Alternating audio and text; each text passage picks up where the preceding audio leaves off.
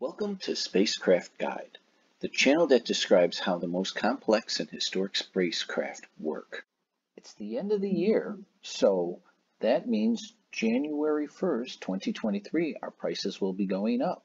So if you act now and uh, purchase a Patreon tier, your price will stay at the 2022 level forever.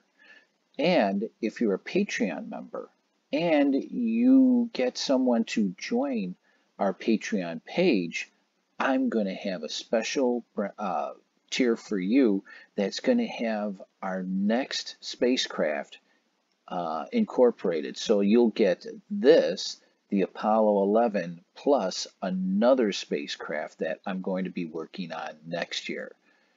So remember, join this month.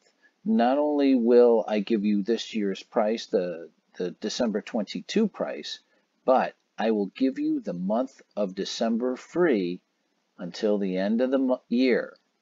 And then the prices go up and the free uh, viewing goes away too. In this issue of Spacecraft Guide, we're going to continue our work on the lunar module and continue our work on the panel 12, which is the communication panel, and the ICS volume switch, or volume switch. When you click on this, it takes you to the Intercom System ICS volume thumb wheel. Now, what this does is it permits continuous adjustment of the level of received intercom system audio feed to the headset amplifier.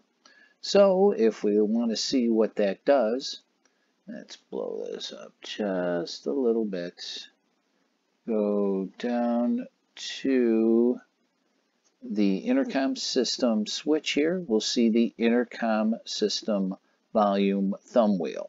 As we move it up to increase, that increases the volume, which that goes into the diode switch, comes up to the voice headset amplifier, the commander's master volume, which is right there, and then going on to the headsets. So that is how the volume switch works. That's all for this week.